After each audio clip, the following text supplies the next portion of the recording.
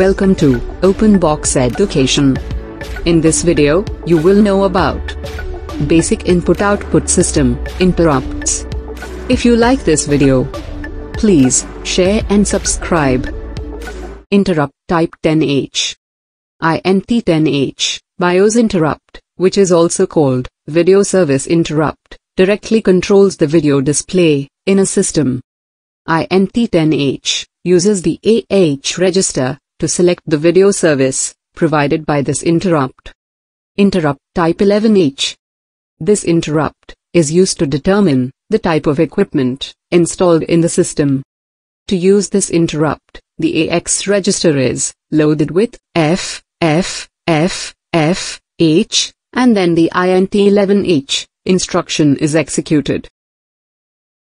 Interrupt type 12H.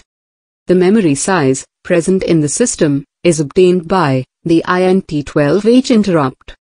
After executing the INT12H instruction, the AX register contains the number of 1 kilobyte blocks of memory installed in the computer. Interrupt type 13H. This interrupt controls the diskettes that are within 5.25 or 3.5 inches in size and also hard disk drives attached to the system. Interrupt type 14H. The INT14H interrupt controls the serial communication ports attached to the computer. There are two communication ports, COM1 and COM2, in a computer system. In newer 80-style machines, the number of communication ports extended to 4, including COM3 and COM4. Communication ports are normally controlled by software packages. Interrupt type 15H. The INT15H interrupt controls various I.O. devices interfaced with the computer.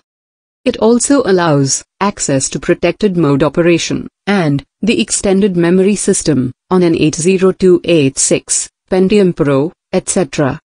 Interrupt type 16H. The INT16H interrupt is used to control the keyboard in the system.